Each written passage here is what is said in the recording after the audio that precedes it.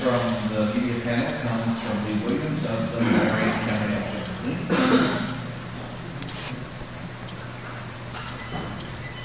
Um, I'd like to follow up Bruce's question a little bit.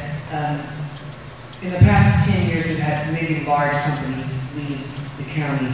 Do you think that these incentives that you talked about would be better served to smaller companies and small businesses, which is the way that the future is going as far as employment? You get them to stay in Illinois, sure, there are things that local government can do. I've had that experience on the, on the uh, City Council. Uh, But again, we don't have to.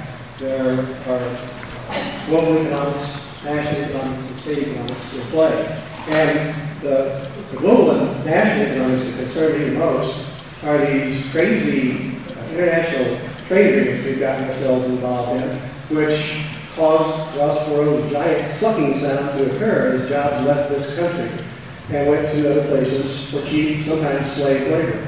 And so I think we've got to turn that around in order to improve the business climate in Illinois also. But yeah, there are local things that can be done. We've done them in Salem.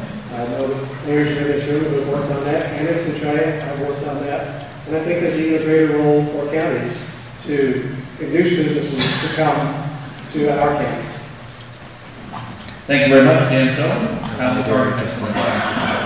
The uh, tax increment financing uh, districts, the um, enterprise zones, those are all kinds of local incentives that, that are good. You know, as long as the local taxing dollars agree to give that, that, those, that revenue away.